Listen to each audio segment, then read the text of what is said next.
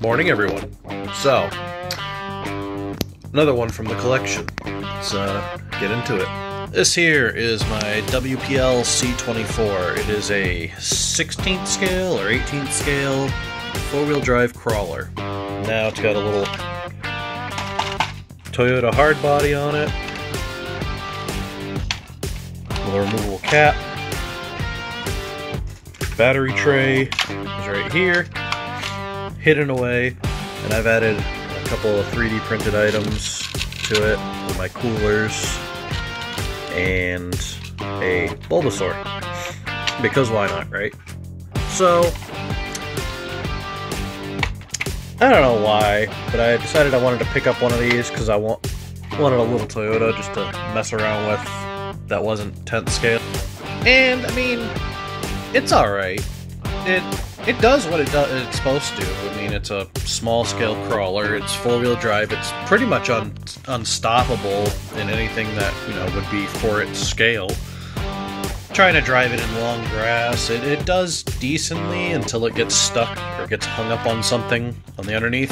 The underside, it's just kind of your basic crawler chassis. It's got headlights that work. Um, it's, you know, four wheel drive, locked diffs, so that way, you know, it doesn't get stuck on anything, which it really doesn't. I mean, unless you're trying to do stuff with this thing that is, you know, meant for 10 scale trucks, no, it, it really does pretty well. It's got the turning radius of a semi truck, though, so doesn't turn very well. I mean, that's but that's as far as it goes. It, its, its steering is not very, uh, you know, it's not one of the upsides, but it looks really good, and for what it, the size it is, it does pretty well. And it's it's taken a bit of a beating. It's already tumbled off of you know some tables at work, a couple of small scratches on the roof. That's about it.